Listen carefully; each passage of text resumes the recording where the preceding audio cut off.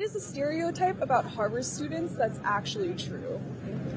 They don't pretty. I feel like majority of people here just work. There's a lot of work depending on your major. We're pretty crazy about grades here. Like I definitely think that there's a lot of like craziness over grades and people like fighting tooth and nail for like that last decimal point to like get from that A minus to an A. Like that's definitely a thing here. I know there are like a lot of valedictorians. Um, I true. A lot of very, very smart people.